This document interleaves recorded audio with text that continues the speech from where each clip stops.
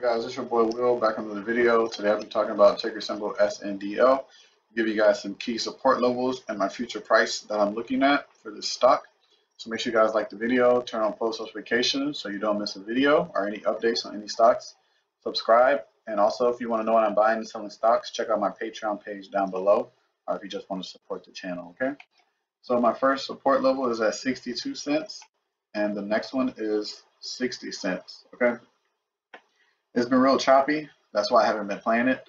Um, I want to play on moves that are like this or that are like this, right?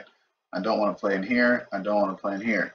So I'm looking for the next move, whether that be down or up, is still crucial because if it does come down, this is where I can see where we might see some buying pressure, right? But if it starts coming up, then we have to wait for it to create a new um, support area for us to buy off of, okay?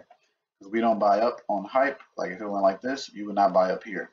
You would wait for the pullback and you would buy down here. And you would buy at 46 and you just would have held and then you would have got that good play. Okay. So make sure you guys have these levels 62 and 60. As you can see, price has been bouncing off these levels, came down, bounced off again, came down, bounced off again. So these are key support levels. Like I said, you will see some buying pressure off of. As you can see right here, these buying pressures kind of look like price doesn't want to come down.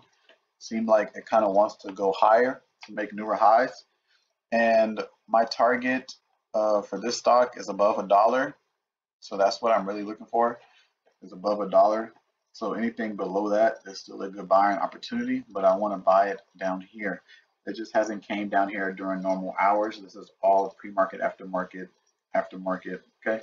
I want to come down here during regular hours and then I will get um, some shares right here and then hold it for higher prices. But if it does come down, that's why we use risk management.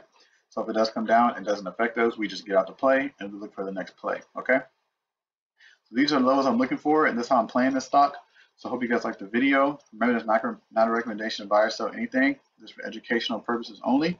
So do not trade anything you see or hear in these videos. And I'll catch you guys in the next one.